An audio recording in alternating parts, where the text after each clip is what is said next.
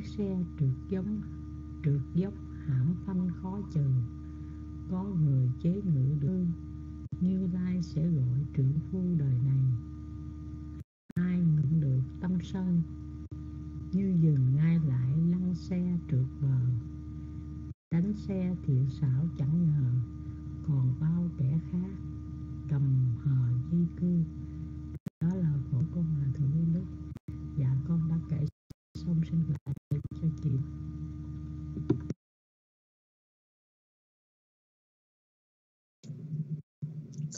thu lành thai chị Trần Đạo. Con kính đảnh lễ ba ngôi tam bảo, ân đức Phật ân đức văn đức tăng. Con kính đảnh lễ chư tôn đức trong đạo tràng. Con kính pháp tính sư tuệ nhẫn, cô tu nữ tề duyên. Con kính chào đạo tràng. Kính cảm ơn quý vị cho biết tín hiệu nghe rõ. Sau đây con xin kính đọc pháp cú số 222 Vô quê Úc Bát tê Tăng Cô Thăng Ra Thăng Phần Tăng Quá Hòa Ra Về Tama Hằng Sa Ra Thình Bru Mí Rasmik Gà Hồ Itaro Chano Vô quê Úc Bát tê Tăng Cô Thăng Ra Thăng Phần Tăng Quá Hòa Ra Về Tama Hằng Sa Ra Thình Bru Mí Rasmik Itaro Chano Vô upati Tăng Cô Thăng Ra Thăng Phăng Tăng Qua Hòa Ra Về Tama Hằng Xà Ra Thình Brung Mi Rasmik Itaro Chano Chẳng được phấn nộ, Dừng xe đang lăn. Ta gọi người đánh xe, kẻ khác cầm hờ bản dịch của hòa thượng thích minh châu. Vô quê úc ba tí tăng cô thằng ra thằng tăng quá hòa ra về. Ta ma hằng xà ra thần rù mít rasmik ga hồ nồ tân phát rất nhập chiếc giống phanh khó chừng. Có người chế ngữ được ư, như lai sẽ hội tu đời này. Ai người chẳng được tâm như dừng ngay lại. Lăn xe trượt bờ, đánh xe thiện xảo chẳng ngờ còn bao kẻ khác. Cầm hợp bản dịch quê đức, kính mời ai mình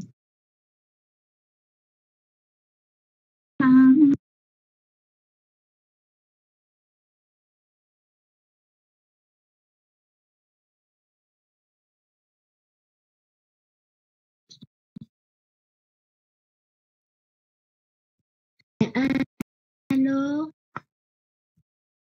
Ô dạ. Cô thủy. Chị kim nhung. Nam mô bích thầy giá. Con kính đức chư phật. Kính đảnh lễ ân đức giáo pháp. Kính đảnh lễ ân đức chư tăng. Em cảm ơn chị trần đạo chị hoàng nguyệt con kính đảnh lễ thường tọa minh hạnh đại đức pháp tính tuệ nhẫn cô tu nữ tuệ duyên. An ninh kính chào quý anh chị em trong đạo tràng. Con xin phép được trả bài câu pháp cú số 222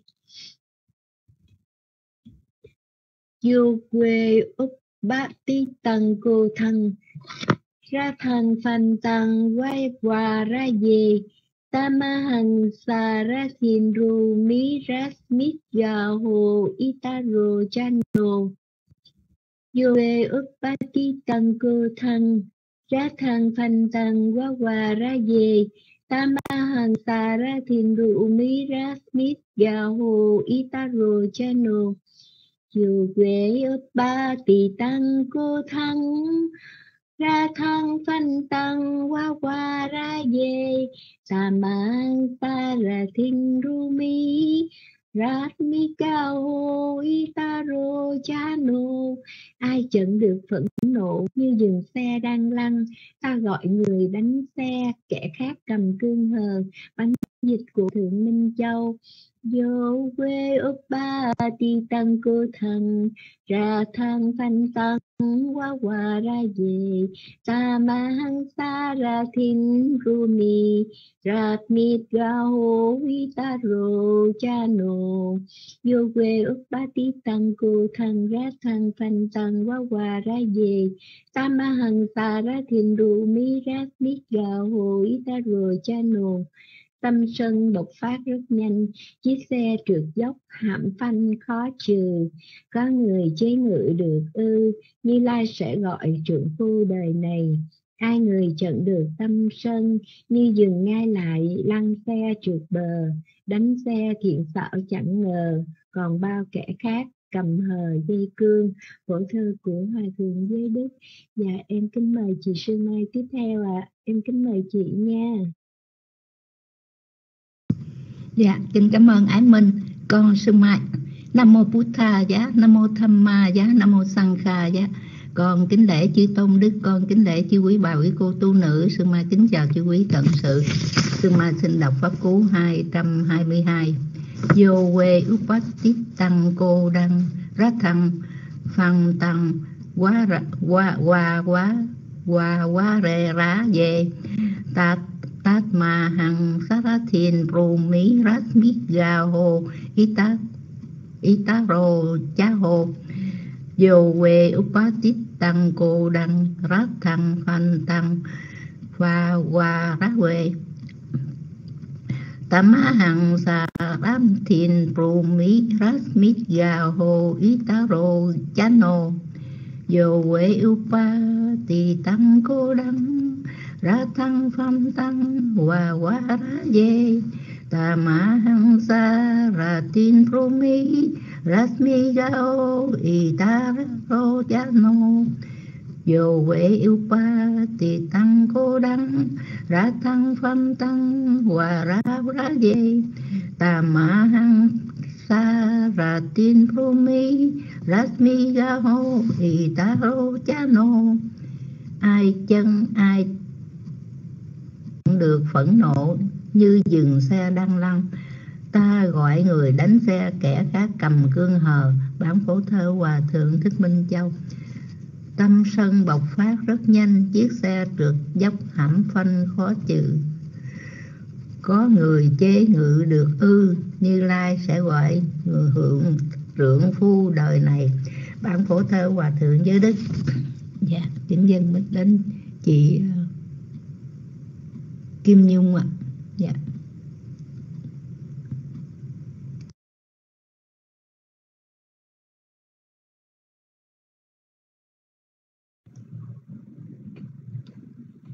Dạ.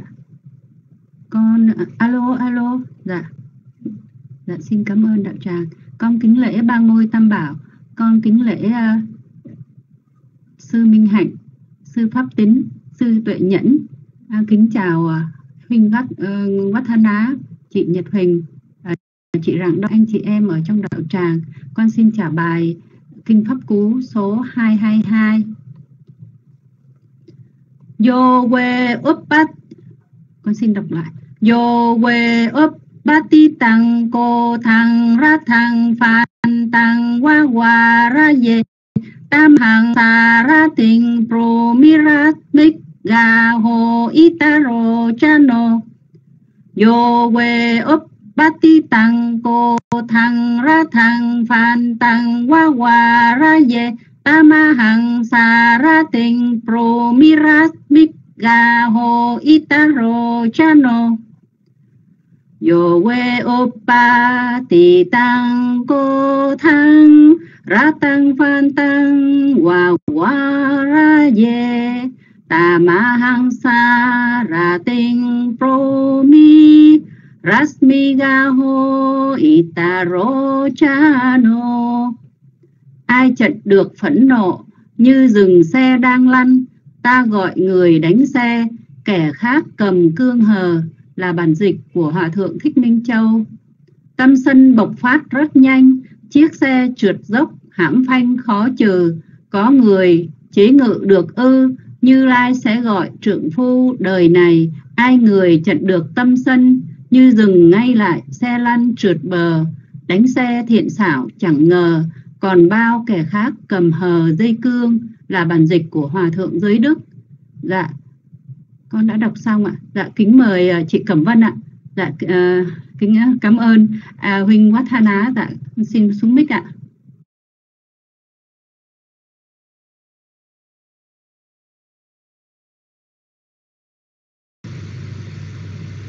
Dạ Nam mô bút Thà Giá, Nam mô Tham Ma Giá, Nam mô Sanh Kha Giá. Con kính đảnh lễ Đức Phật, con kính đảnh lễ giáo pháp, con kính đảnh lễ Đức Tăng, con kính đảnh lễ thượng tọa minh hạnh, đại đức pháp tính đại đức tuệ nạn nhẫn cùng chư tôn đức. Kính chào quý cô phụ nữ cùng quý đạo hữu trong rung. Con xin đọc ôn bài câu pháp cú số 222 vô quê úc bá tí tăng cô thanh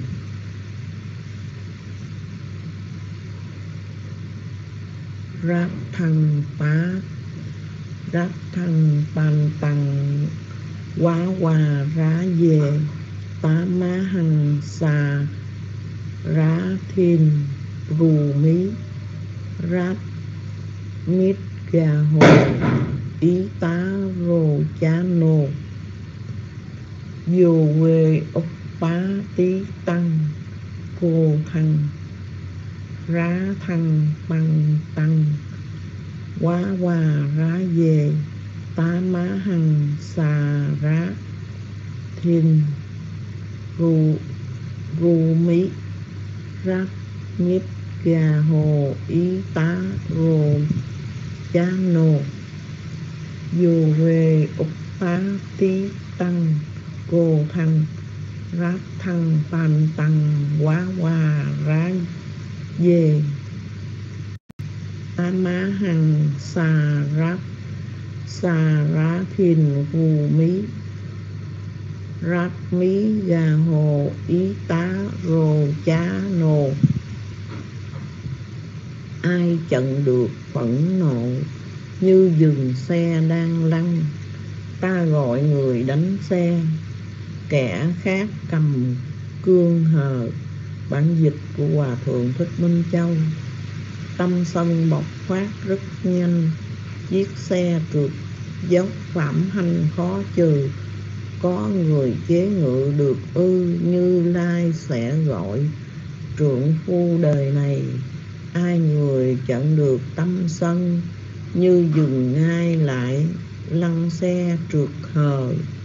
Đánh xe thiện xảo chẳng ngờ, còn bao kẻ khác cầm hờ. Dây cương. Và cảm dân đã ôn bài, và kính mời à, cô tuệ duyên và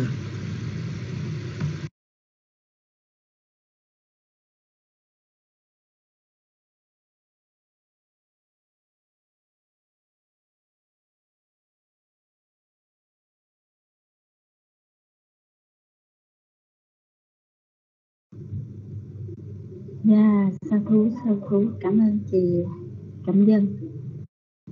ít Tha Giá, Nam Mô Tham Ma Giá, Nam Mô Sang Kha Giá. Con thành kính đảnh lễ Đức Phật, Giáo Pháp, Chư Tăng. Con kính đảnh hạnh Đại Đức Tự Nhẫn, Đại Đức Tình Đạt, Đại Đức Pháp Tính.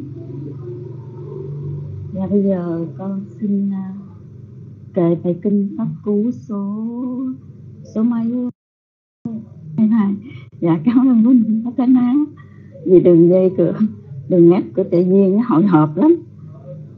Cầm lên sợ không nghe rõ. Dạ bây giờ đạo tràng đã nghe rõ. Dạ tự nhiên xin kệ. Vô quê ấp ba ti tăng cô thằng ra thằng phan tăng qua qua ra về. Amahang sa Rami gaho agratuk atago chano Yo Yo pati tăng cô thăng Ra thăng phan tăng qua qua ra về Amahang sa ra thinh du mi amiga ho Ano ai như dừng xe đang lăn, ta gọi xe kẻ khác cầm gương hờ khổ thơ này của hòa thượng thích minh châu. Tâm sân bộc phát rất nhanh. Chiếc xe trượt dốc hãm phanh khó trừ có người chế ngự được ư? Như lai sẽ gọi trường phu ai người chặn được tâm sân, như dừng ngay lại lăn xe để trượt bờ, đánh xe thiện xảo chẳng ngờ, còn bao kẻ khác cầm hờ dây cương. Bây giờ cảm ơn đạo tràng đã cho biết dạ bây giờ tự nhiên xin xuống đất dạ kính à, mời chị Quỳnh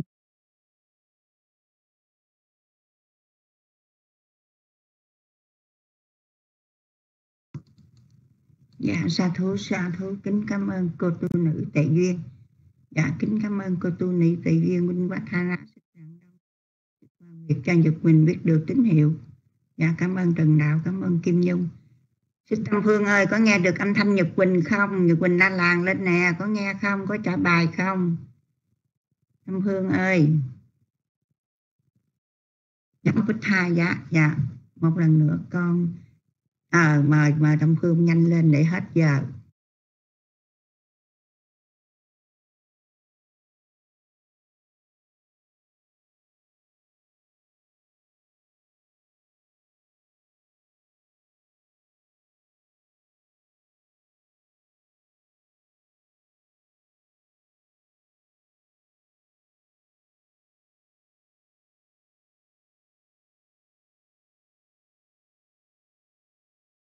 Phương không nhà Tâm Phương không đủ duyên rồi. Dạ Nam Mô Bích hà dạ. Một lần nữa con thành kính đảnh lễ chư tôn đức Nhật Quỳnh à, kính chào đạo tràng. Dạ cảm ơn đạo tràng cho Nhật Quỳnh biết được tín hiệu. Dạ sa thú sa thú lành thai. Nhật Quỳnh kính cảm ơn cô tu nữ Tề Duyên, chị Sương Mai, à, Cẩm Vân, Kim Nhung, cô ấy Minh, Xích Rạng Đông, Quỳnh Quách Thanh Á đã hoan hỷ lên kệ kinh. Chúng con thành kính đảnh lễ tri ân đại đức tuệ nhẫn.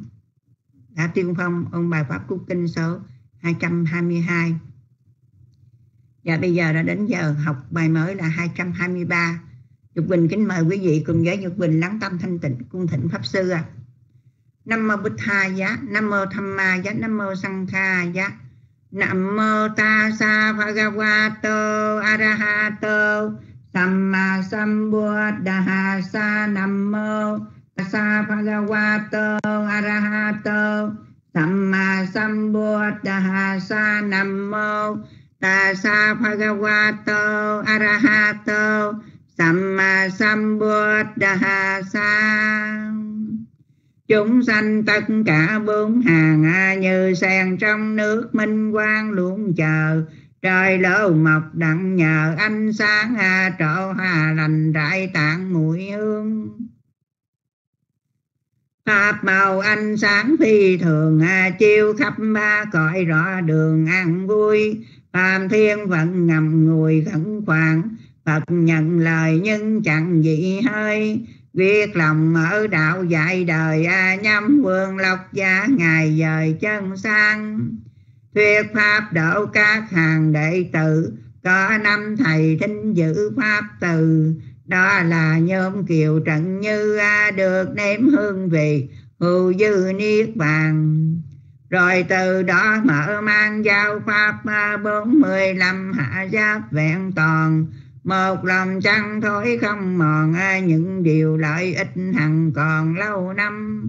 Ca tam giới thừa ân phổ cập, đám mưa lành rơi khắp rơi khắp thế gian bởi nhân cơ tính rõ ràng thịnh ngài thuyết pháp nói đàn tự bi, chúng sanh ngồi khắp chốn đi à, tối mê cầu được, tri tri à, vẹn toàn. Năm mô bích tha giá. Và đạo tràng, chúng con đang trang nghiêm thanh tịnh.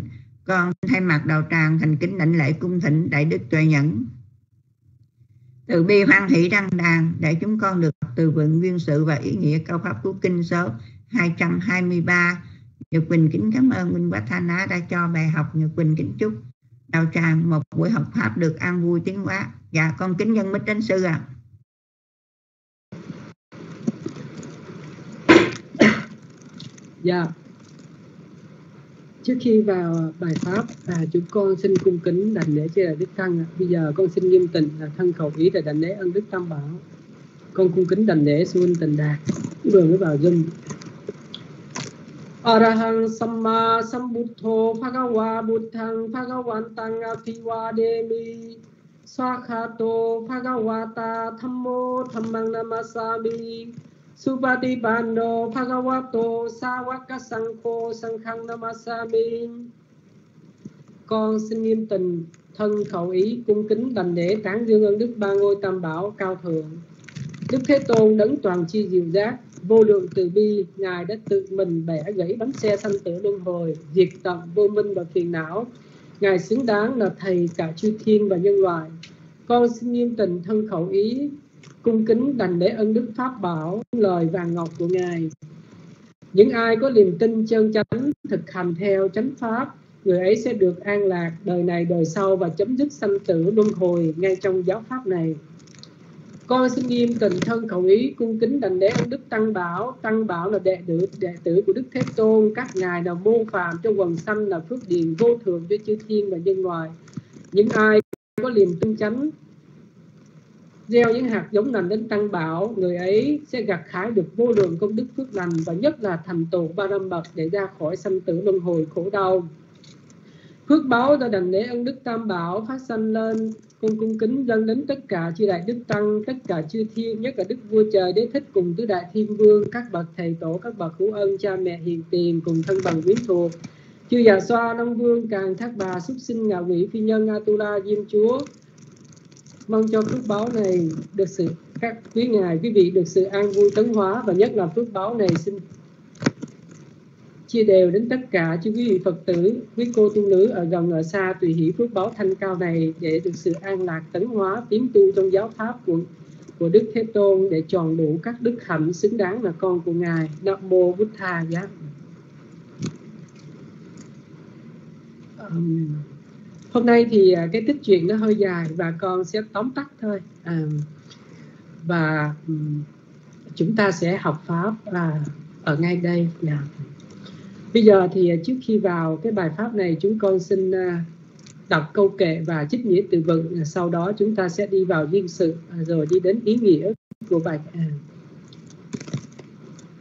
trước khi vào câu 223 con đọc à, hai lần ạ Akko Akko Thena Chi Nê Cô Thăng Asa Thung Sa Thúc Na Chi Nê Chi Nê kadariyan damena sakchena anika wadinang akko thena chi ne cô thăng asathung sa thu na chi ne chi ne damena sakchena anika wadinang và cái bản dịch văn xuôi là lên chinh phục sự phẫn nộ. Ừ. cái này uh, nếu mà chúng ta không hiểu chúng ta chỉ đọc cái từ này rất dễ vướng vào cái ý niệm về ngã đúng không? Nên chinh phục sự phẫn nộ bằng sự không phẫn nộ. Nên chinh phục điều xấu bằng điều tốt. Nguy hiểm quá nên ừ. chinh phục sự bỏng sẻn bằng sự bố thí nên chinh phục à. người có lời nói sai trái bằng sự chân thật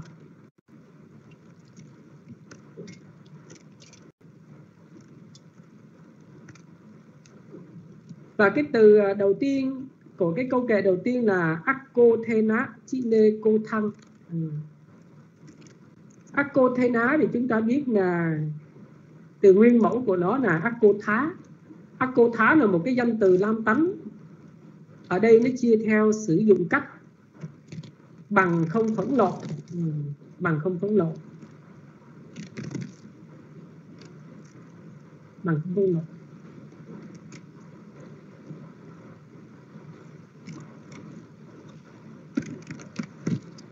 Bằng sự không sân hận à, bằng sự không sân hận cái từ trí nê là cái căn của nó là căn trí. Nó là một cái động từ ở đây nó chia theo thao động thể hả? À, cách số 3 và cái nghĩa của nó là chiến thắng.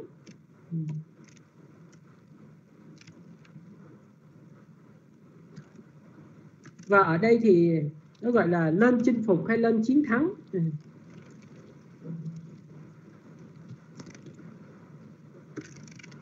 Nhưng mà chinh phục bằng cách nào? À, chứ không phải là à, chúng ta thường là chúng ta cứ nghĩ rằng chúng ta phải đè lén hay là làm một cái gì đó cho cái tâm sân này hay là chúng ta phải ngồi để trở đến nóc học rồi chúng ta phải ngồi thiền hai ba tiếng để mà dẹp trừ cái sân hận này.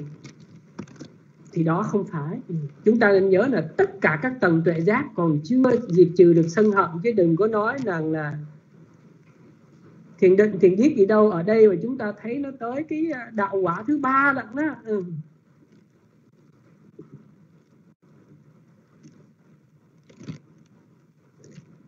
và tiếp theo cái câu thứ hai là anathum sathuna chine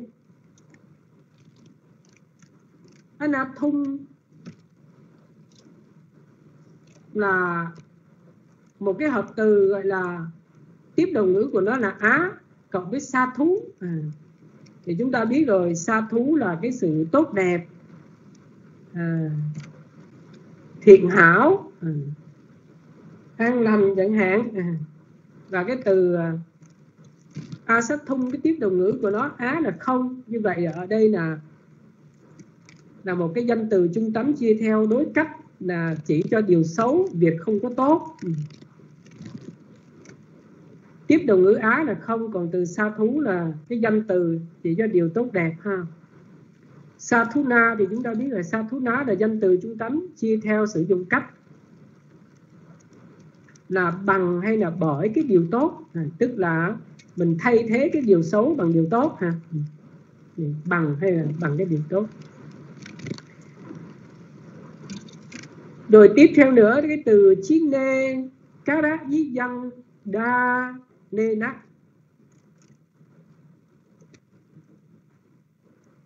là cá đá lý dân là chúng ta biết là cá đá lý giáp là một cái danh từ chân tánh đối cách chỉ cho cái sự bỏng sẻn, sự keo kiệt. À, sự bỏng sẻn, keo kiệt. Thì chúng ta biết là bỏng sẻn, keo kiệt thì nó chung đi chung với cái bọn sân, tức là sân tật lận hối, ha. Và một cái vị tu đầu nguồn. Thì chúng ta biết là cái sân cái sân thô nó còn nhưng mà bỏng sẻn thì nó không có còn.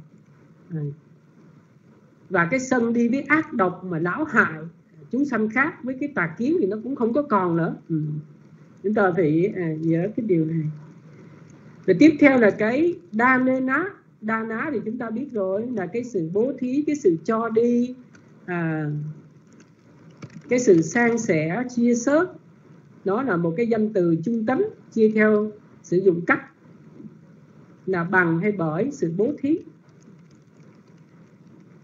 Và cái câu cuối cùng là sách chê ná alika qua đi năng là lên chinh phục. Ừ. Là sách chê ná sách chê ná là sách chá đó. Sách chá thì chúng ta biết là chỉ cho cái sự thật, cái sự thật. Ở đây thì nói là cái lời nói chân thật, cái lời nói chân thật. Ừ hay là cái tâm chân thật? Ừ. là một cái danh từ trung tánh chia theo sử dụng cách là bằng cái sự chân thật. Và cái từ tiếp theo là cái từ uh, alika qua đi năng alika cộng với qua đi ừ. đó là một cái nhóm từ ở đây chia theo đối cách.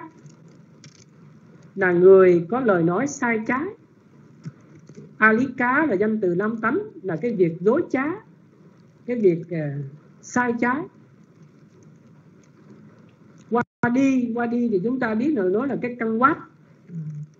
Nó là một cái danh tính từ năm tánh là người nói lời. Người có nói lời nói có nói. Qua đi tức là cái lời nói.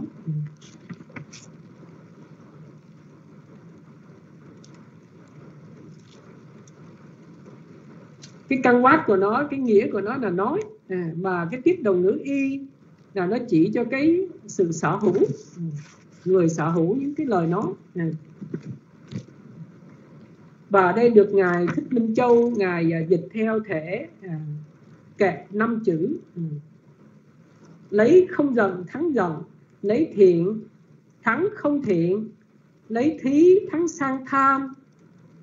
Lấy chân thắng hương ngụy ừ, thế thân thắng hương ngụy đó là bản dịch của ngài hòa thượng thích minh châu ừ. và là con đã trích nghĩa từ vựng xong và cái câu chuyện cái tích chuyện này à, chúng ta đi vào cái giai đoạn 2 nói về cái tích chuyện của cái câu kệ này. Ừ. Kính bạch chư đại đức tăng kính thưa quý vị à, cái tích chuyện này thì nó hơi dài và con xin à, tóm tắt để chúng ta đi vào cái bài pháp cái nghĩa à, nó cô đọc hơn chứ còn cái câu chuyện thì chúng ta đã đọc rất là nhiều rồi. Ai ai cũng hiểu biết nó để ừ. chúng ta chỉ cần à, tóm tắt thì ai cũng biết cái câu chuyện này chúng ta đã đọc rất là nhiều lần. Và cái câu chuyện này Đức Thế Tôn à, ngài thuyết khi ngài ngự tại à, về lúa lá khi mà ngài thọ thực tại nhà của cái làng Uttara. Uttara và đề cập đến làng. Và cái câu chuyện này thì nó được diễn tiến. Ừ. thì trong cái thành Gia Chá Cá Há, lúc bấy giờ có một cái người rất là nghèo khổ và tên là Huná và cái người chồng, cái người chàng chăn ná này mấy người vợ thì ờ, rất là nghèo khó. Và được làm cho trưởng giả Sumana rất là giàu có. Nhưng mà người chồng này rất là chịu khó. Chàng trai Sumana này rất là chịu khó.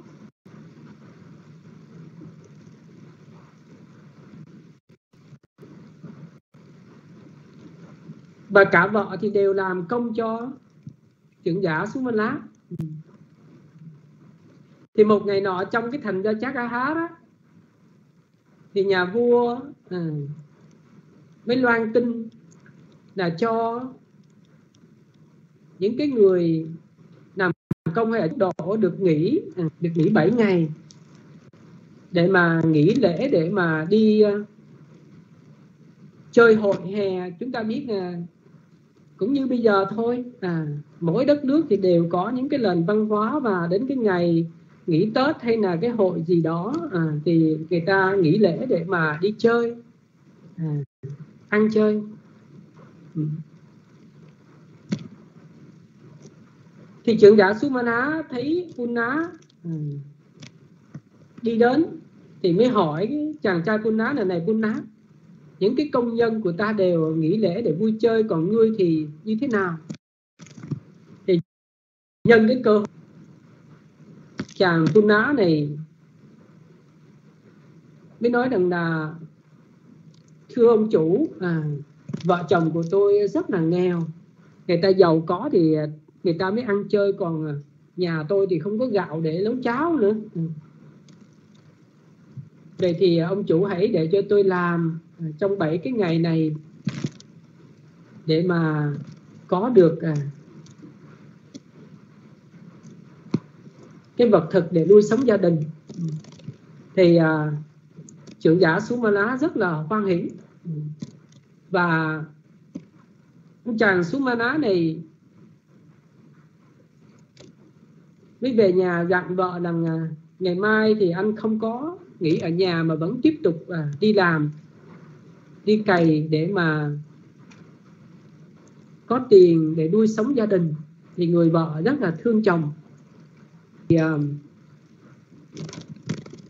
chàng xứ chàng xứ ma lá thì sáng mang uh, các cái dụng cụ và đem bò ra để cày ruộng cho trưởng giả xứ ma lá. Thì lúc bây giờ thì ngài uh, xá lợi phất á, thì uh, ngài nhập diệt uh, thọ tưởng định.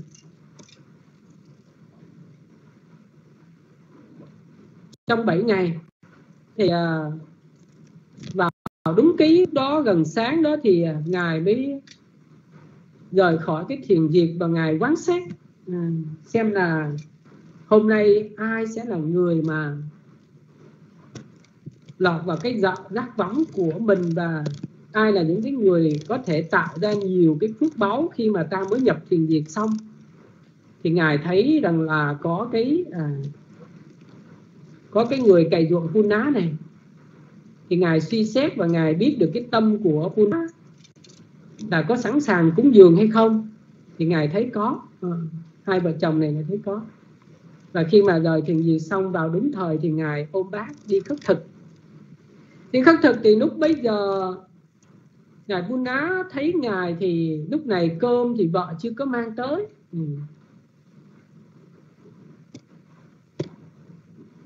thì ngài mới nghĩ rằng thôi thì à, chắc là ngài à, xá lợi phất đứng ở đó chắc à, ngài cần nước cần tâm xỉ răng thì à, gia chủ quân ná này cũng mang tới dân cho ngài và ngài xá lợi phất cũng thọ nhận. Và rồi ngài xá lợi phất cũng à, thấy và cũng đi để mà tiếp độ uh, vợ chồng nhà buôn ná này và khi đó thì cái người vợ cũng đem cơm ra đồng cho chồng thì ngay lúc đó thì thấy ngài xá lợi phất với các căn vô cùng thanh tịnh. Và làng lập tức khởi lên cái ý rằng là cúng dường liền. Và chúng ta biết là thay vì cái đời sống ở trên đời này thì đa phần là 99 phần trăm là cái người ngu thôi. Ừ. à, cái người mà đa phần thì chúng ta thấy rằng khó mà làm được cái việc phước như vậy bởi vì có mỗi cái phần cơm mà đang mang ra cho chồng mà lúc đói như vậy mà chúng ta biết là khi mà gặp ngài xá lợi phất thì à, làng không còn nghĩ tới chồng nữa. Và làng nghĩ ngay tới cái nghiệp và quả và ngà, làng làng tắt bạch cúng dường à, liền cho đến ngài xá lợi phất. Và nói mong ngài à, tế độ cho con không có nghèo khó trong mọi kiếp và ngài chứng đắc cái quả vị gì thì mong cho con sau này cũng đạt được cái sự giải thoát như vậy. Và thế là ngài làm cúng dường xong. Ở đây con tóm tắt ra à, chứ còn chúng ta đọc hết rồi nhưng mà đọc lơ ấy thì nó um, dài lắm. Và làng đi về thì nàng lại nấu tiếp một phần cơm thứ hai để mang ra cho chồng. Và lúc này thì cái người chồng bắt đầu thấy mệt và cày được nhiều ruộng người thấy mệt thì nên nằm nghỉ để đợi à, người bò mang cơm ra ừ.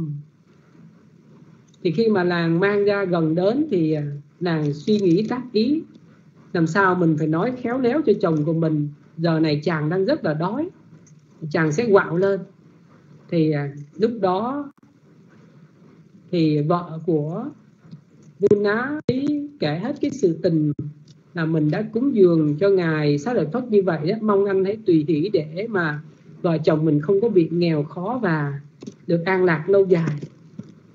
Và người chồng suy xét cái sáng mình cũng nằm phước đến cho ngài như vậy thì thấy người vợ nữa thì hoan hỷ nó gấp bội.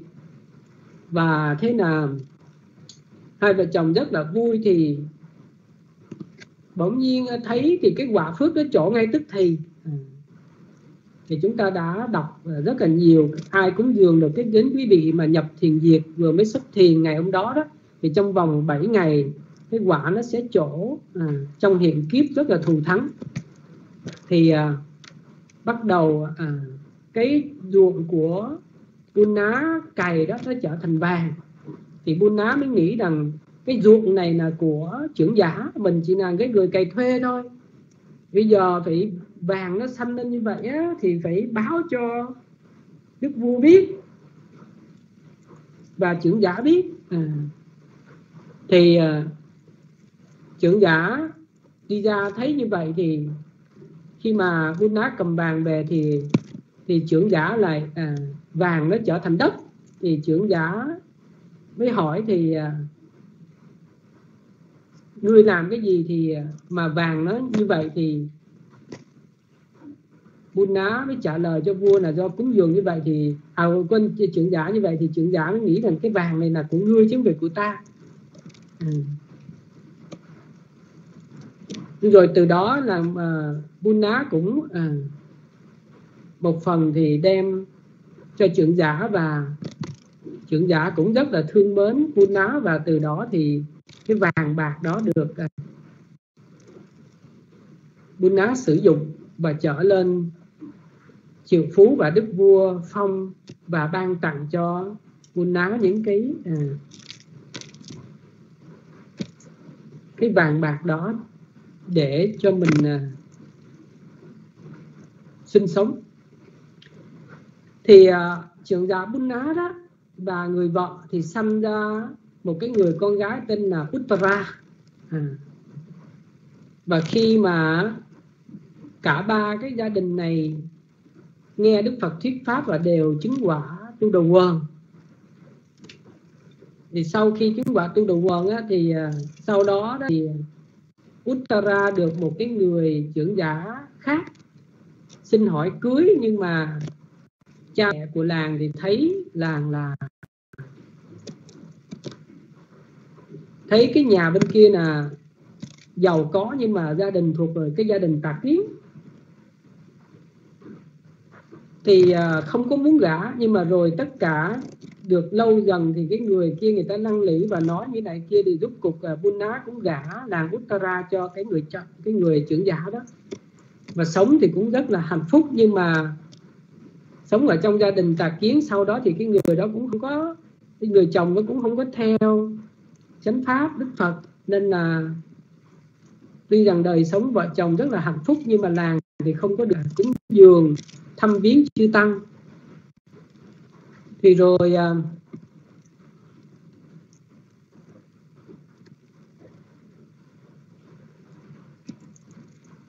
thì rồi một hôm à, làng thấy gần tới à, gia hạ rồi đó. Chư tăng sắp gia hạ rồi làng nhớ đến mình ở cái gia đình này không có được cúng dường đức phật ngày nào thì rất là nhớ. Thì lúc này à, mới báo tin về cho cha biết thì cha của làng rất là thương con gái và quyết định mở cái kho vàng và tặng nàng mấy trăm ngàn đồng tiền vàng và nói với con gái là hãy mướn cái làng Sirima làm cái kỹ lưỡng ở trong cái thành đó rất là đẹp về phục vụ cho chồng con. Để con rảnh rỗi để con uh, sửa soạn những cái thức ăn vật phẩm để cúng dường đến chư tăng trong vòng 15 ngày. Thì uh, làng đồng ý. Ừ. Và khi cái người chồng của làng thấy làng xí ma rất là đẹp đẽ, thì à, chịu liên ừ. nên là cho làng làm theo ý muốn của mình. Và làng cúng dường đến chư Phật và trong vòng 15 ngày. Thì lúc này cái làng Sirima đó ở với cái chồng của làng thì lại luyến ái và cứ tưởng mình là có quyền hạn lúc này cái người tưởng là cái người kia thương mình cái người chồng của cái làng Uttara này thương mình thì thì lại tưởng là là có quyền hạn. À, và nhân tiện đó thì làng khởi lên cái ý nghĩ rằng mình à, một hôm thì chồng của làng từ trên lầu đứng chung với làng Sirima thì này nhìn xuống cái người vợ của mình là Uttara thì mới cười rất là hoan hỷ tức là đã đáp ứng cho mình cái làng xí ma này mà lại không có ghen tức gì cả thấy hoan hỷ với người vợ tâm rộng rãi quá. Ừ. Thì à, làng kia mới ganh tị. Ừ. Làng ganh tị nên là ngài làng mới dùng cái mưu kế. À, và khi mà thằng Uttara xuống đang nấu đồ ăn á, thì cái dầu nó đang sôi như vậy. Thì cái làng Sirima mới múc cái dầu sôi đổ lên cái làng Uttara này và cái làng Uttara này cái tâm làng đã hết mực à, đúng đó đang hướng về Đức Phật giáo pháp và chư tăng nên là tâm của làng rất là quan hỷ và lúc này làng như lý tắc ý rằng à, ta không nên sân hận ừ. và làng nghĩ rằng đây chẳng qua là cái chuyện tình cờ cái làng Sirima này đổ dầu lên người ta chứ không làng tác ý như vậy.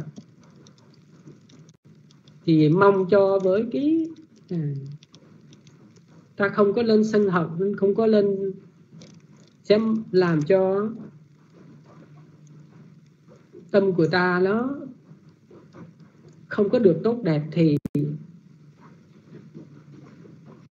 với cái tâm từ rất là mãnh liệt hướng về làng ma này không có nghĩ rằng nàng Sirima này ác độc và cái tâm từ của nàng nó tỏa hết ra cả châu thân như vậy thì cái dầu đó cái sức nóng của nó không có làm cho da cái thịt của nhà của làng bị à, bị phỏng hay bị đau. Rồi lần thứ hai làng Sirima lại tiếp tục dầu múc dầu đổ lên với cái năng lực, tâm từ làng Uttara đã khéo tắt. Và rất là mãnh liệt thì cái dầu đó cũng không làm cho thân thể của làng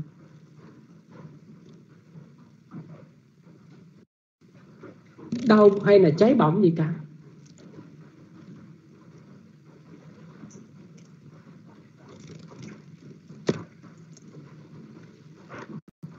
Và làng uh, Sirima thấy làng Uttara như vậy và làng Uttara không những không giận mà còn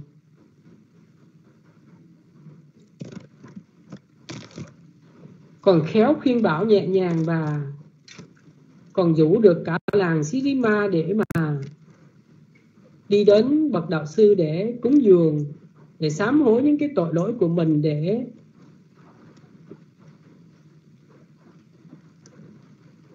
mà không bị đọa vào những cái đoạn xứ, thì nàng Sirima này rất đổi là kinh cảm với cái việc làm ác độc của mình.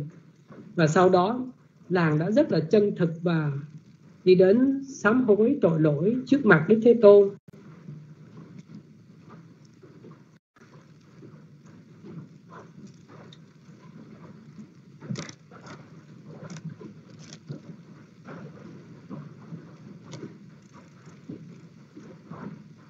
Và khi đó thì đức thế tôn là kể hai người kể hết những cái câu chuyện đó thì đức thế tôn mới nói là lành thay lành thay này Uttara có phải à, thắng phục sự phẫn nộ như vậy? Thật thế. Nên thắng phục người nóng giận bằng cái sự vô sân.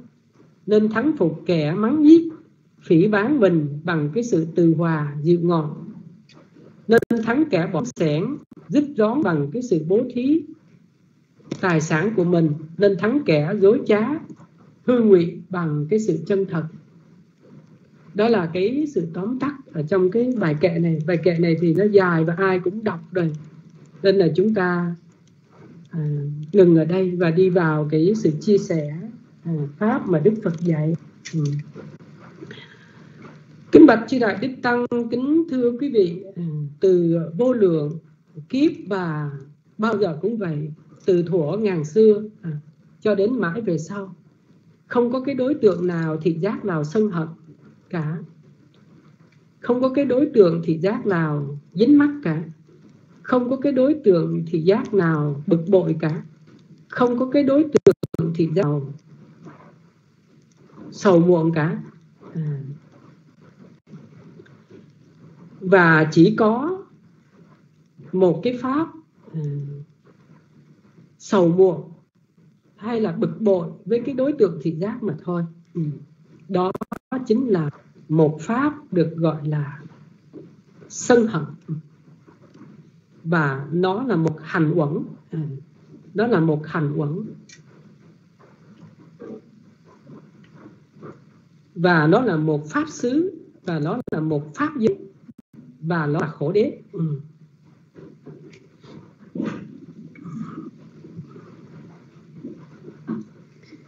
à, không có ai sân hận cả mà chỉ có sân hận với cái đối tượng mà do không như lý tác ý ừ. sanh khởi không có một cái đối tượng nào không có một cái âm thanh nào giận hờn buồn vui sầu muộn với bất cứ hình thức nào trong vòng sanh tử luân hồi cả. Chỉ có cái pháp muộn với cái âm thanh mà thôi. Không có một cái mùi vị nào, không có một cái mùi nào sầu muộn, từ thuở ngàn xưa cho mãi về sau. Ừ.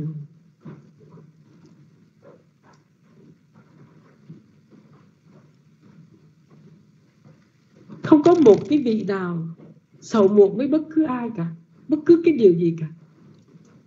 Không có một cái xúc chạm cứng mềm nóng lạnh nào sầu muộn, giận hờn với bất kỳ ai. Ừ.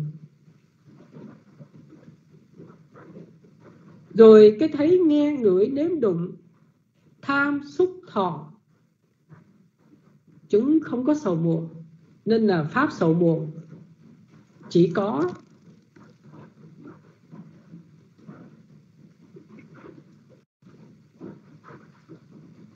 cái pháp đó, đặc tính của nó. Và không có ai sầu muộn nếu không có duyên cho nó thì nó không thể sanh khởi được.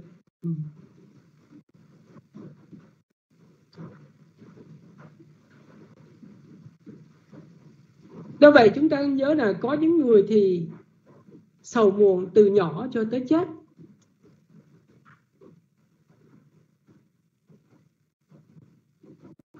Rồi đi đoạn xứ nhưng cũng không bao giờ hiểu biết được.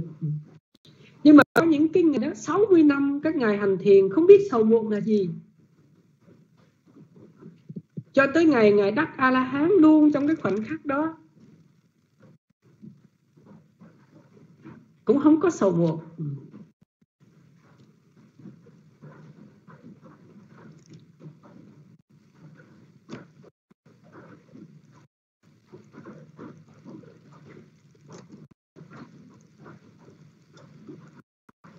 Chúng ta muốn chiến thắng sân hận.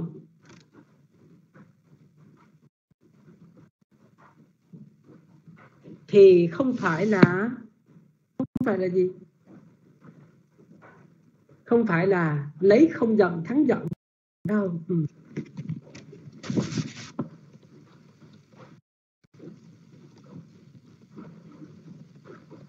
cái từ ngữ chúng ta cũng phải rất là cẩn trọng. Ừ lấy lấy mà lấy không là thắng giận đó thì khác nào chúng ta đè lén hay chúng ta làm một cái việc gì đó để cho sân hận nó nó mất đi. Nhưng không phải. Sân hận nó có duyên của nó. Thứ nhất là cái đối tượng của nó có duyên sanh, tức là cái cảnh đó là cảnh xấu, cảnh trái ý nghịch lòng. Cái thứ hai là cái thường cận duyên của cái người không như lý tác ý, luôn luôn chấp vào tôi và bản ngã, và thấy, không thấy được các pháp là vô thường. Và họ chỉ thấy con người này, con người kia, thấy tôi ta. Ừ.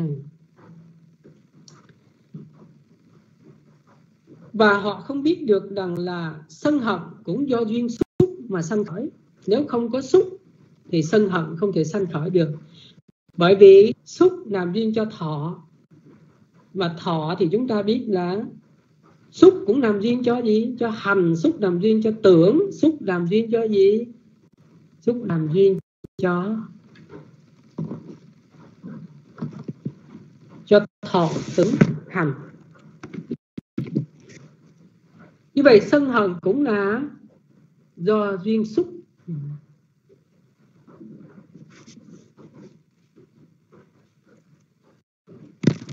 Và do đương nhiên là không những lý tác ý là chắc rồi bởi vì à, xúc thì chúng ta biết rằng à, khoảnh khắc nào cũng có xúc hết. Ừ.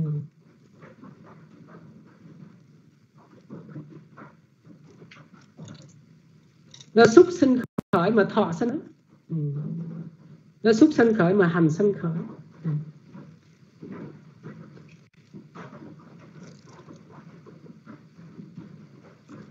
Và đương nhiên là các pháp, bất khả ý, bất khả lạc, thì chúng làm duyên cho sân hận. Thì chúng ta biết là có cái gì? Sáu cái đối tượng có thể làm duyên cho sân hận, sân khởi. Đó là đối tượng thị giác, đối tượng âm thanh, màu, mùi, vị, cứng, mềm, nóng lạnh. Và pháp không như ý mà không có suy nghĩ thì cũng không có sân khởi. Ừ. sân hợp là một hành quẩn là pháp xứ là một pháp do và là một đế, tức là khổ đế. Và nó có mặt ở trong đời sống này. Nó không thuộc tôn giáo nào cả nó là một pháp có thật do duyên khởi ừ. chỉ do duyên mà khởi ừ.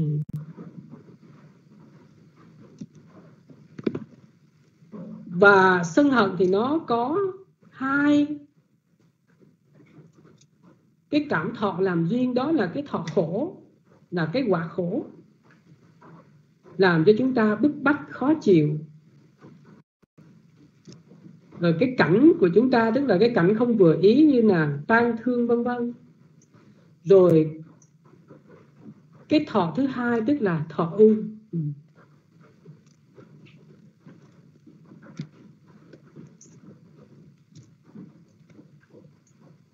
như vậy, từ cái cảnh của mắt, tai, mũi, lưỡi, nó không như lý, tác ý thì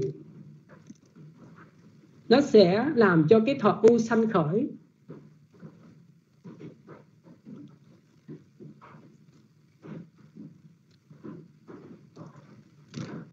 Rất là dễ dàng và nhất là cái thọ khổ nữa. À, cái thọ khổ thì à, cái người nào mà có thọ khổ nhiều thì cái thọ u nó cũng nó cũng làm nó cũng nằm duyên cho cái sự u phiền và sân hận rất là nhiều.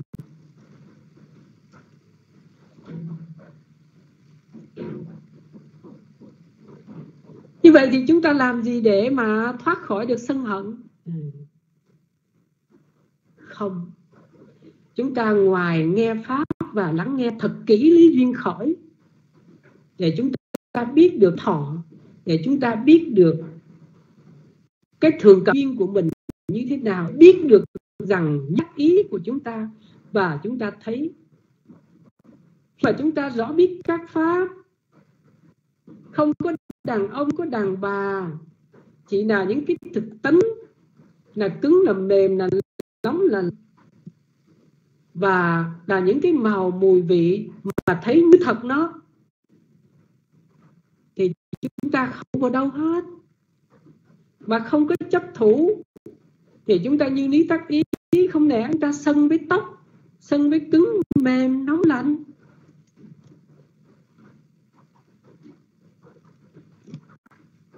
Thì cái này mới gạ cái câu kệ này mới hiểu đúng là tức là khéo như lý tắc ý.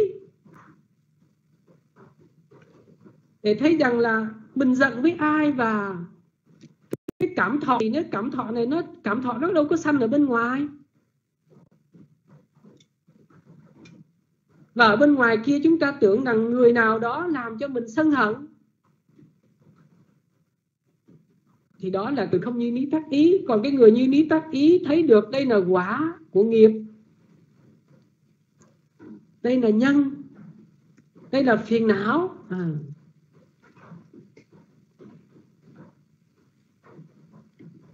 và nếu mà chúng ta chấp vào đối tượng này, chúng ta không hiểu được đối tượng thì sân không bao giờ. Vì sao vậy? Vì nó có cái chấn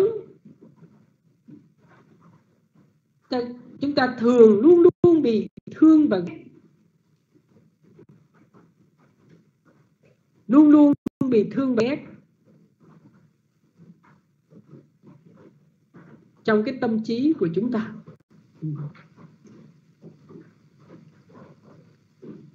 Và hai cái này rất khó mà chúng ta thoát ra được. Mà cái mẹ đẻ của cái tâm sân này chính là tham là chấp thủ.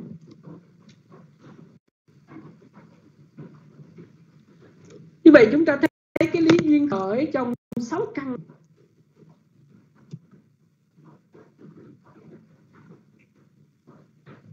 Chúng ta như lý tác ý thì mới thực sự là lấy không giận thắng. Chúng ta thường áp dụng một cái điều gì đó để mà diệt trừ được tâm sân. Chúng ta cứ nghĩ như vậy không à. Nhưng mà mỗi khi gặp chuyện sân nó lại bùng lên một cái ngọn lật là khủng khiếp. Càng đè lén nó, càng dồn lén nó. Và chúng ta, thậm chí cái người tu rất là nguy hiểm là sao? Người tu của chúng ta luôn luôn muốn mình trở thành một cái tượng của tất cả mọi người là tôi phải đẹp như này tôi phải trang nghiêm như này tôi phải giới hạt như này. Mà trong khi đó tâm của chúng ta hoàn toàn không hiểu biết gì về pháp hết. À, chúng tôi phải thu thúc như này tôi phải làm như này. Nhưng mà thế là sai hoàn toàn. Chúng ta cứ để tự nhiên các pháp và phải thật sự để hiểu từng chút về nó.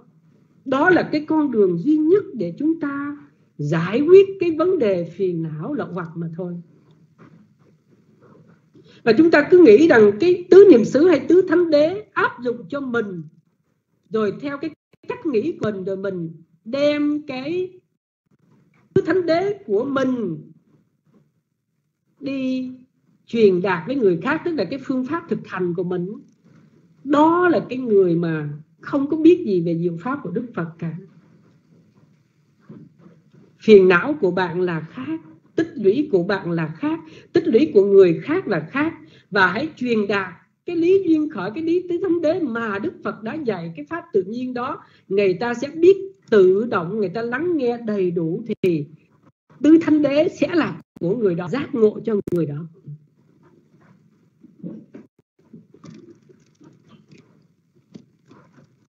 Và chỉ y cứ vào lời Đức Phật dạy mà thôi. Bạn không thể đem cái phương pháp của bạn đi giảng dạy diệu pháp cho người khác là bạn đã phá hủy lời dạy của Đức Phật.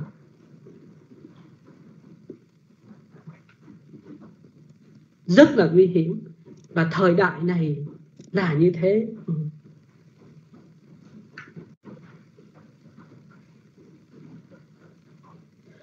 Ngài dạy Pháp để chúng ta hiểu chứ không phải để làm bất cứ một cái điều gì cả.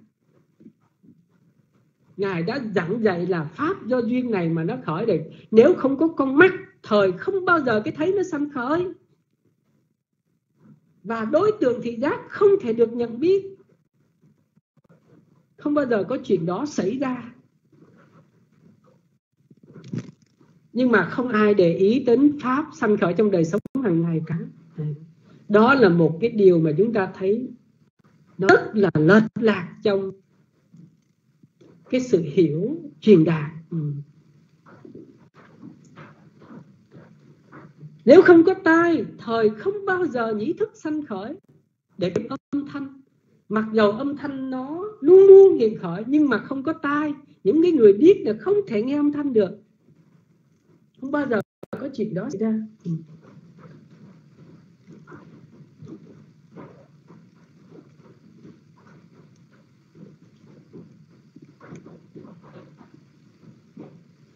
Và pháp thì luôn luôn hiện khởi, mà chỉ có thực tại thôi. Và người ta nói rằng là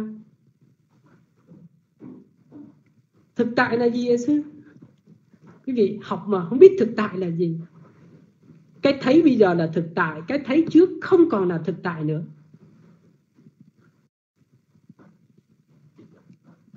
Ngày mai cũng là một cái thấy sanh khởi, chỉ để thấy nhưng nó không bao giờ là cái thấy này.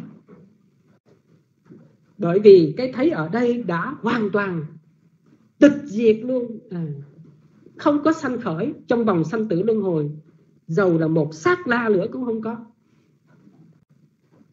Như vậy cái tâm sân của ngày hôm qua không bao giờ là cái tâm sân của ngày hôm nay.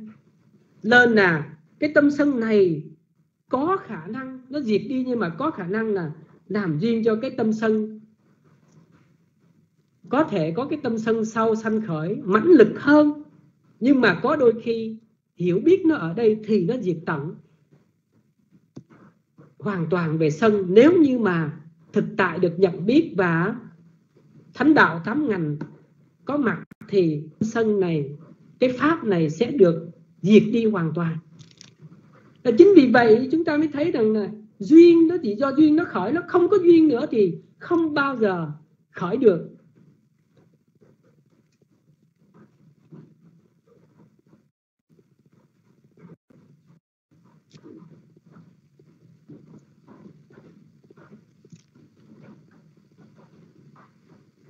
Và chúng ta biết là bốn cái pháp để mà chứng đắc đạo quả là là được gần gũi bậc chân nhân. Người nào là được người gần gũi bậc cái người mà có đức tin nghe diệu pháp, thật là chuẩn chi kiến rồi đó. Cái người đó thế nào cũng gặp được bậc chân nhân.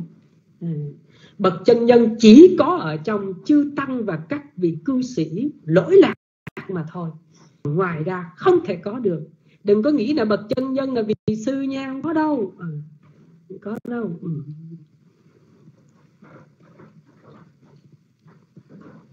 và bậc chân nhân thì luôn luôn là nói cho chúng ta biết pháp hiện giờ là gì.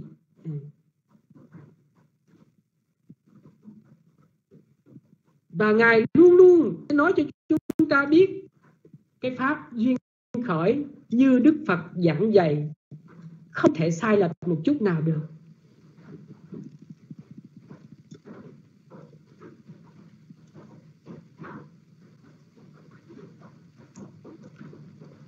Chúng ta không hiểu được thân, chúng ta hiểu được cái tâm sân.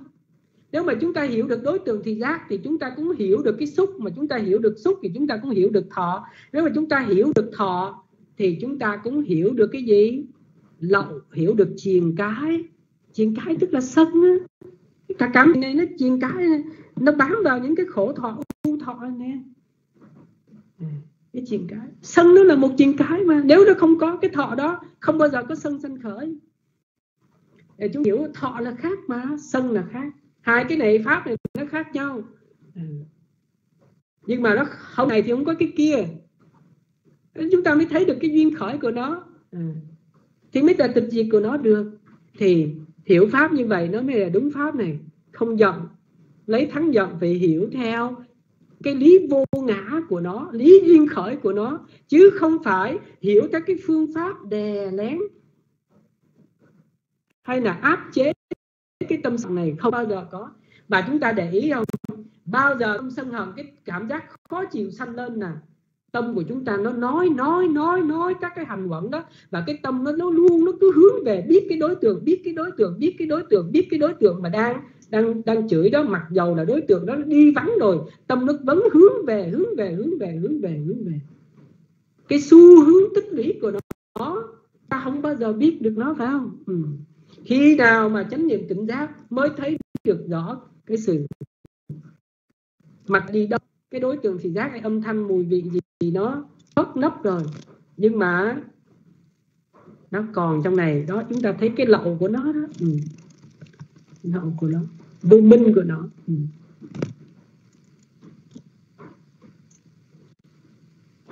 nếu mà chúng ta không hiểu được những cái đối tượng thị giác âm thanh này chúng ta không hiểu được thì không bao giờ thoát được khỏi cái phiền não lộn hoạt đầu. Ừ.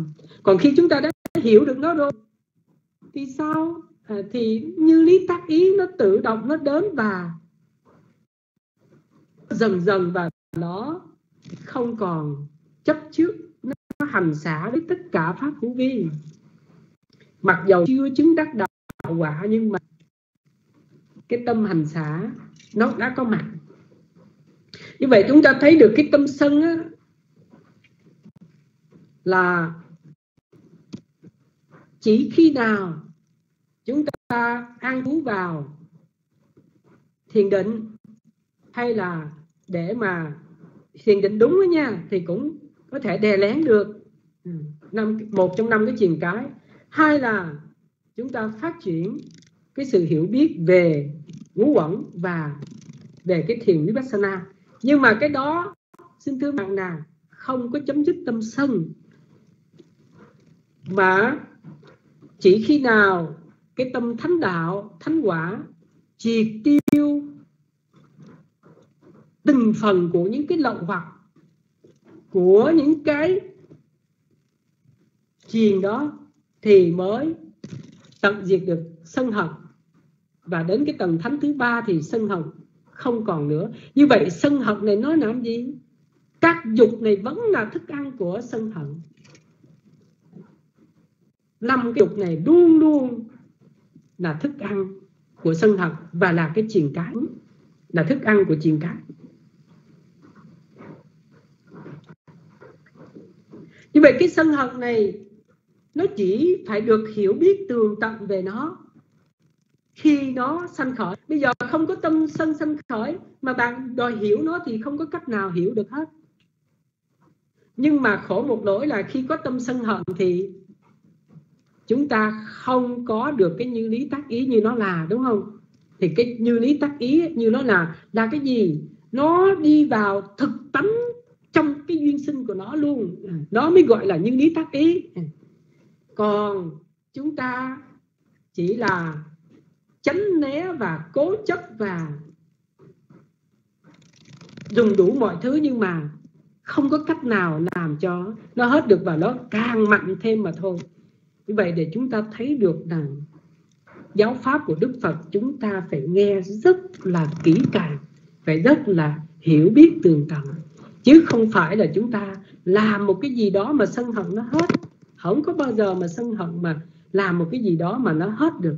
Mà cả mọi phiền não, mọi pháp đều chỉ phải hiểu, đều chỉ được hiểu mà thôi. À.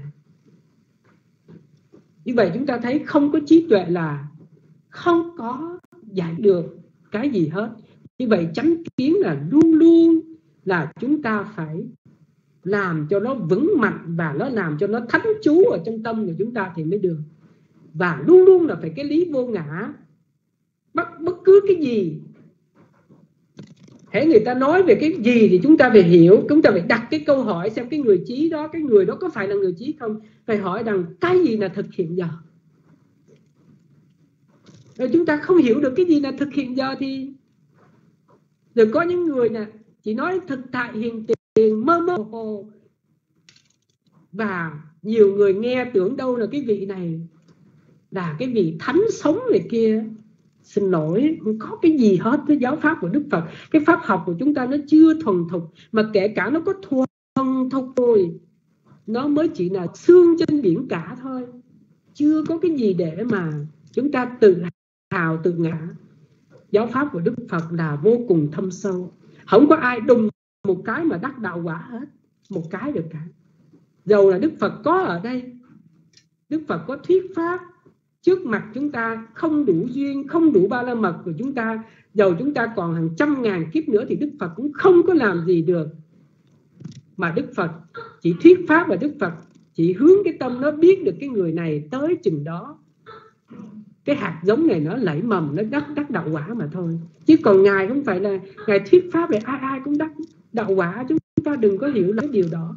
Mà ngài thuyết pháp để chúng ta biết được cái con đường tứ niệm xứ này và tích lũy những cái thiền pháp những cái ba la mật những cái hạt giống trí tuệ này ra khỏi sanh tử luân hồi.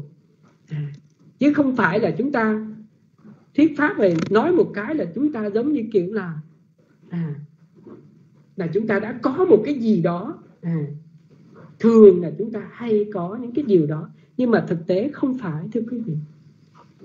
Chúng ta học Phật pháp khi chúng ta thực sự hiểu thì lúc này sao? Cái chân thật của chúng ta nó bám dễ nó bám dễ nó biết được rằng cái hiểu của mình còn rất là ít. Cái vô minh nó còn vô lượng, vô biên. Sau những cái thấy, nghe, ngửi, nếm đụng xúc chạm này. Vậy chúng ta tưởng là tâm từ. Nó diệt đi tâm sân, không phải. Tâm từ nó sanh, nó có cái pháp của nó. Ừ. Nên chúng ta phải hiểu được cái lợi ích và cái sự nguy hại.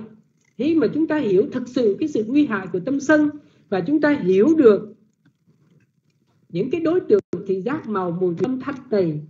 Chúng không bao giờ sân hận với bất cứ ai, giàu là một khoảnh khắc. Ở bất cứ một cái phương trời nào, bất cứ một cái lãnh địa nào.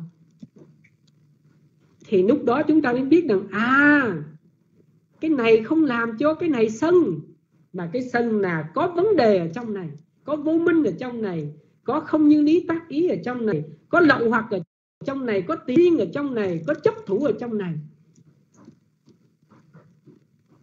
Chỗ đó là chỗ mà chúng ta sẽ hiểu được tâm sân và chúng ta cũng hiểu được cái cảm thọ, chúng ta cũng hiểu được cái hành quẩn, chúng ta sẽ hiểu được cái cường độ của nó à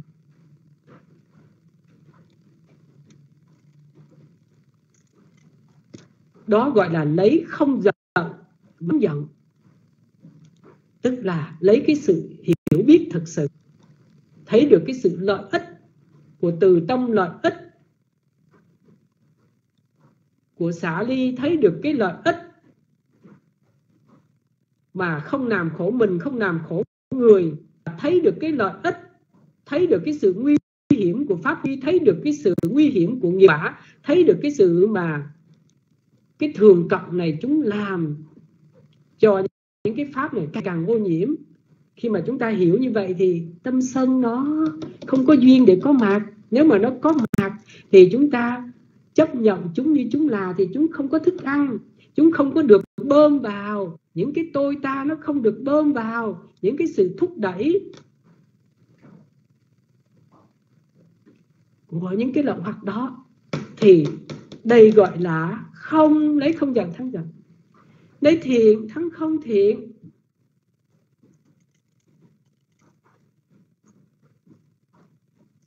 Thì cũng vậy thôi. Lấy thí thắng sang tham. Ừ. khi hiểu được những cái lợi ích đó thì lấy, hiểu được cái lợi ích của thiện pháp đưa đến không làm khổ mình không làm khổ người đưa đến xả đi. Đưa đến sự an tịnh, thắng chí.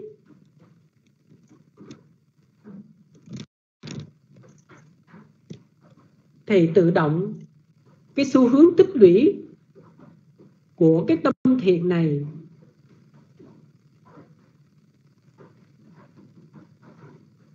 Chúng tăng trưởng.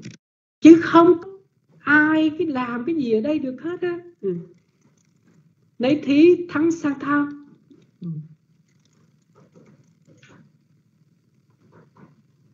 người đó thấy cái sự keo kiết thấy cái sự bủn xỉn, thấy cái sự ti tiện, thấy cái sự hạ liệt của chúng sanh do không có những cái tâm thiện lành.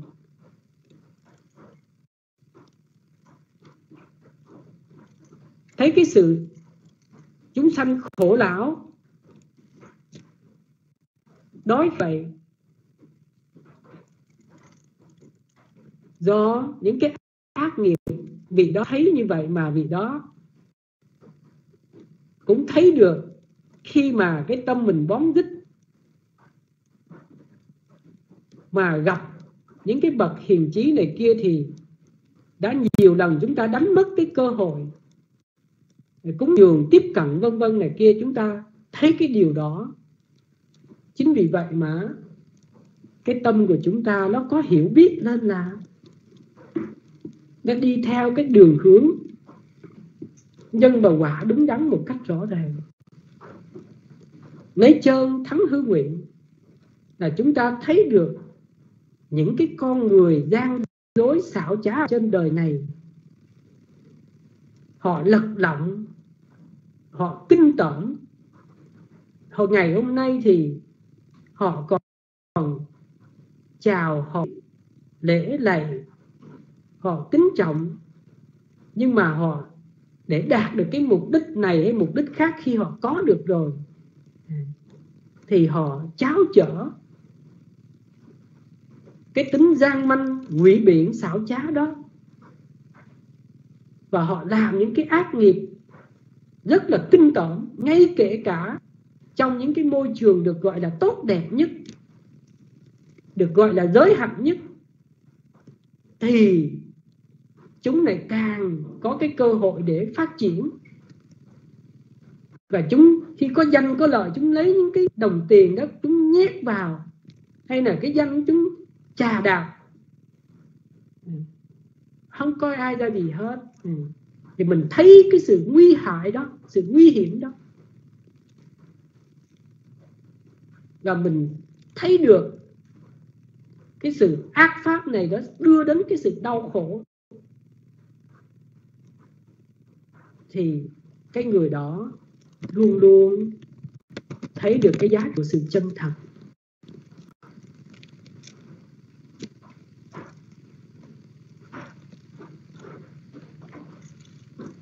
Và chỉ khi nào chúng ta thực sự bắt đầu vào cái đường bát chánh đạo này lếm vào cái lý thuyết thánh đế vào cái hỏi này, thì chúng ta mới thấy lời dạy của đức phật là không thể nghĩ bàn và vô cùng là thâm sâu và cái sự luân hồi tại sao mà chúng sanh nó diễn tiến phức tạp như vậy là do những cái tà tư, tà hạnh, do những cái ô nhiễm, do cái sự không hiểu biết về các pháp này này à.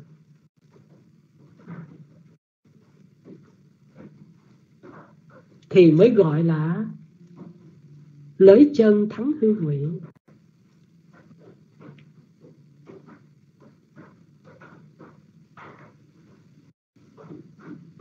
như vậy chúng ta thấy cái chánh kiến đó là tối quan trọng của con đường mà chúng ta cần phải có cái niềm tin và loại bỏ được tất cả. Bao giờ mà nó thành lập được là cái người đó, chúng ta được nghe người này, người kia rất nhiều những cái vị lỗi tiếng trường thiền này, trường thiền kia mà. Chúng ta có đủ để, cái đủ bản lĩnh để chúng ta suy xét vào lời Đức Phật dạy và cái trí tuệ nó lớn lên từ trong tâm của mình để thực sự hiểu được. Cái thấy nghe ngửi nếm được trong đời sống hàng ngày chính là pháp bảo hay không? Nếu mà chúng ta có được cái đó một cách vững vàng trong tâm của mình, thì xin thưa với quý vị, chúng ta chắc chắn là cái người con của Đức Phật không sớm thì muộn cũng ra khỏi sanh tử luân hồi.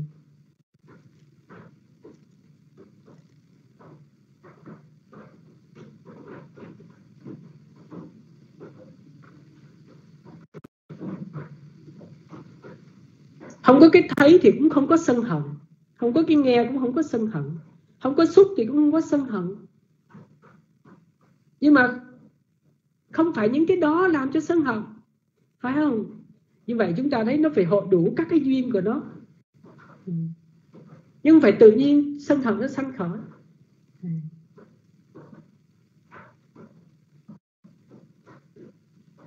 Nhưng mà sân hận nó có, nhưng mà nó có do duyên khởi, chứ không phải là không có duyên khởi. Kể cả trong giáo pháp của Đức Phật có những ngày 60 năm vẫn là phàm phu nhưng mà các ngài được an trú trong thiền. Cái môi trường đó không có sân hận gì hết, không có một mảy may sân hận. Cho đến ngày, ngay lúc đó được nghe pháp, ngài tưởng là ngài đắc đạo quả. Nhưng mà khi mà một cái dịp đó chúng ta nhớ cái câu chuyện mà vị đệ tử ấy con voi ra cái thì ngài hoảng hốt. Thì vị vị đệ tử mới nói rằng bạch thầy vị a la hán còn sợ hãi hay không thì ngài mới biết được rằng là ờ oh, như vậy là chưa có chứng đắc đạo quả. Và ngài quán liền và chứng đắc đạo quả ngay lúc đó.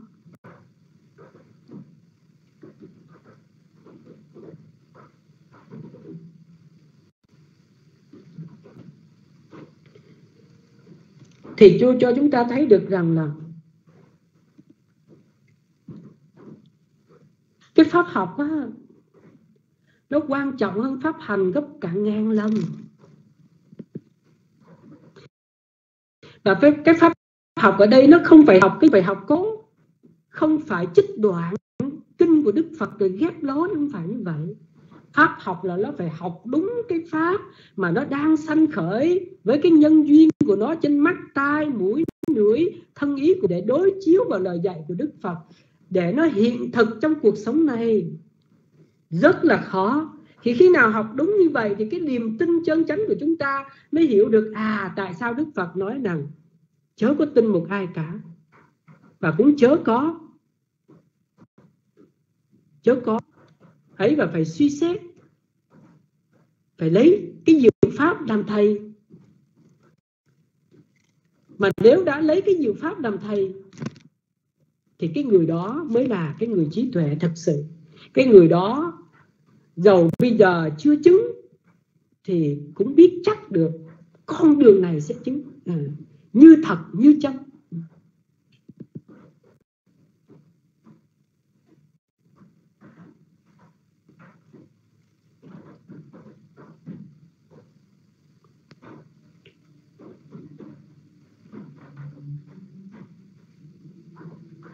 Còn cái pháp hành nó bắt nguồn từ cái gì? Nó bắt nguồn từ chánh chi kiến của cái pháp học thực sự biết được các pháp trong đời sống hàng ngày là gì? Và đó là chánh niệm. Pháp hành chính là chánh niệm tỉnh giác với cái thực tại này đây.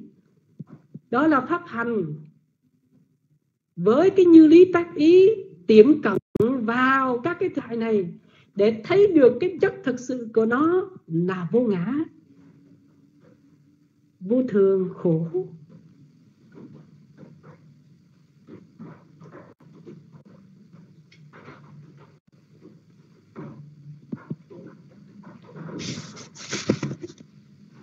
Như vậy chúng ta mới thấy được rằng nghe diệu pháp là quan trọng nhất đời này. Không có cái gì có thể giác ngộ. Ta không có nghe đủ cái diệu pháp lời Đức Phật dạy. Chúng ta nghe chưa đủ thì trí tuệ nó chưa đủ để sanh. Như vậy thôi. Còn nghe đủ rồi thì trí tuệ nó sẽ tự động nó sanh lên. Bởi vì hai cái chi pháp Đức Phật đã dạy rồi, do nghe diệu pháp và khéo như lý tắc ý. Khéo như lý tắc ý. Và pháp thì nó luôn luôn sanh khởi bởi duyên của nó ở đây rồi. Không cần phải đi tìm không có đi tìm gì cả. Ở đâu cũng chỉ sáu căn nó sinh hoạt thôi. À, không phải đi tìm nó. Ừ. mà hiểu nó thôi. À. như vậy là cái thực tại này nó đang sanh bởi minh hay bởi vô minh mà thôi. À. bởi vô thì giải thoát mà bởi à quên bởi minh thì giải thoát mà bởi vô minh thì gì? Thì này tiếp tục tiếp nối. À. chứ không có cái gì nữa cả thưa quý vị. Ở đâu cũng chỉ có nhiêu đó và ôi chết rồi thời pháp đến đây quá rồi. À. và cái bài pháp ngày hôm nay thì chúng ta biết là lấy không giọng thắng giọng lấy thiện thắng không thiện lấy thí thắng sang tham lấy chân thắng hư ngụy. Và đây con chỉ nhấn mạnh vào cái vấn đề sân hận này. Còn những cái pháp kia thì à, chúng ta cũng hiểu à, như vậy. Và phước báo phát sanh lên kính nhân đến tất cả chư tăng kính nhân đến tất cả chư thiên nhất là đức vua trời đế thích cùng tứ đại thiên vương, các bậc thầy tổ, các bậc hữu ân, cha mẹ hiền tiền, cùng thân bằng quyến thuộc chư dạ xoa long vương rằng các bà xúc xích ngạ quỷ thiên nhân atula, diêm chúa. Và kính chỉ phước lành này đến tất cả đại tử, mong cho quý vị luôn được hóa và sớm diễu ngộ được niết bàn. Nam mô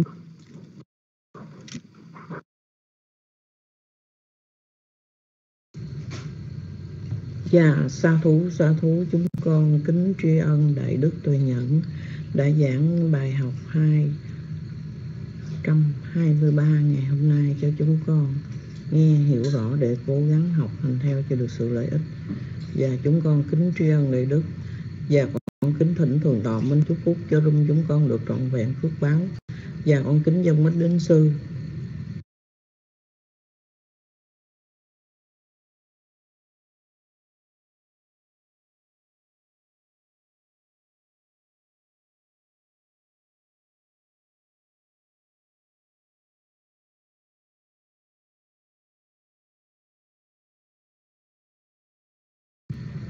và chắc thượng tọa minh hành đã rời rung. Và con kính thỉnh đại đức lời nhận chúc phúc cho con được trọn vẹn phước báo. Và con kính dân mít đến sư.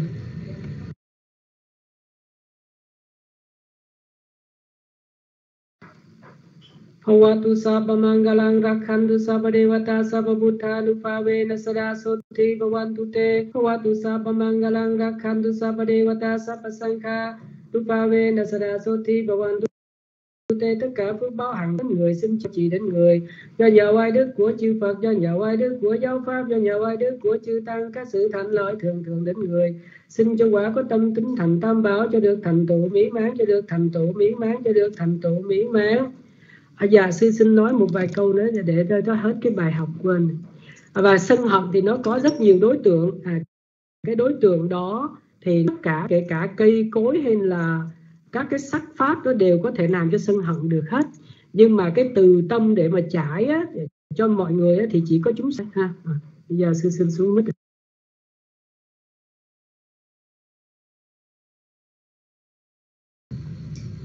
sa thú sa thú chúng con kính tri ân đại đức. Và chúng con kính tri ân thượng tọa minh hạnh đại đức tuệ nhẫn đại đức tịnh đạt cùng chư tôn đức đã vào rung chứng minh cho chúng con được. Thọ trì quy giới, ôn bài và học pháp và chúng con kính tri ân chư đại đức tăng. Kính mời quý phật tử cùng cảm dân hồi hướng. Gia đề quá ta santi si ni. Tu pe ga re bồ thi ga re ta hình ta hình ta tham ma đa đề na pa wan tu bu chi ta so thin ca tê tha quý hạ ra măng đá lê. Thế ra cha mát cha na wa ca cha bích kha vô.